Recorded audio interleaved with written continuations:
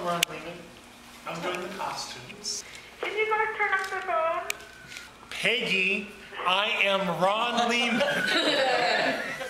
I am doing the clothes.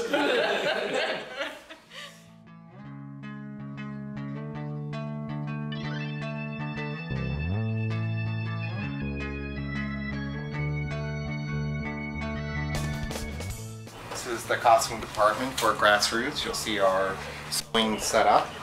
Both Ron Leamon and Daniel Webster were kind enough to donate it to the film, the space to use. And the offices. It's our uniform room.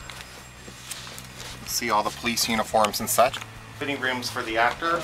Our studio partner, Daniel Webster of Daniel Webster Design, is one of the top burlesque and drag queen designers in the city. So you'll see a lot of forms around here that are a little bit very shapely.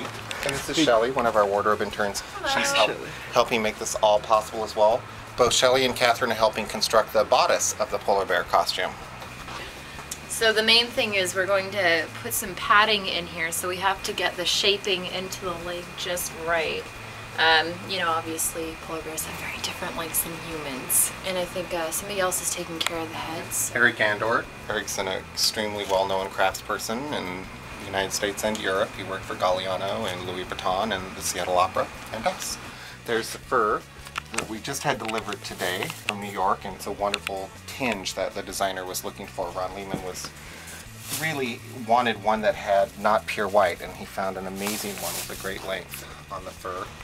And if you get a sense that they like something, then you play off of what they like.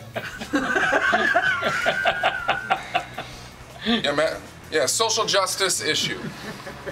But at the same time, you're also creating a character. You're not creating something that's comfortable for them, you know, in real life.